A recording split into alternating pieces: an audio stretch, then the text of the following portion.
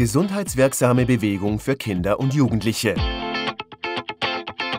Langdauernde Tätigkeiten ohne körperliche Aktivität sollten so weit wie möglich vermieden werden und ab und zu durch kurze aktive Bewegungspausen unterbrochen werden. Nach heutigen Erkenntnissen sollten Kinder und Jugendliche im Schulalter zusätzlich zu den Alltagsaktivitäten mindestens eine Stunde täglich Aktivitäten mit mittlerer bis hoher Intensität durchführen.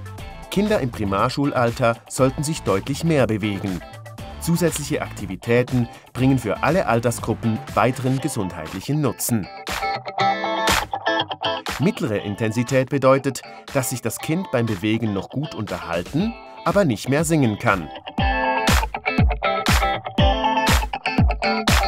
Hohe Intensität bedeutet, dass kein durchgehendes Gespräch mehr geführt werden kann.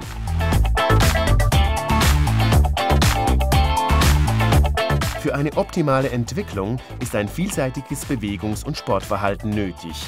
Dabei sollten im Rahmen der Minimalstunde oder darüber hinaus mehrmals pro Woche Tätigkeiten durchgeführt werden, die folgende Wirkungen haben. Knochen stärken, Herz-Kreislauf anregen, Muskeln kräftigen Geschicklichkeit und Koordination verbessern, Beweglichkeit erhalten.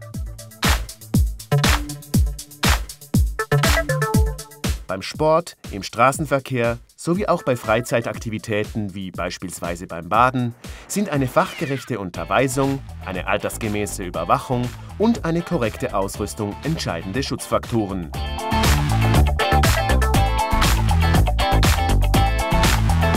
Mobilesport.ch ist die Schweizer Online-Plattform für Sportunterricht und Training.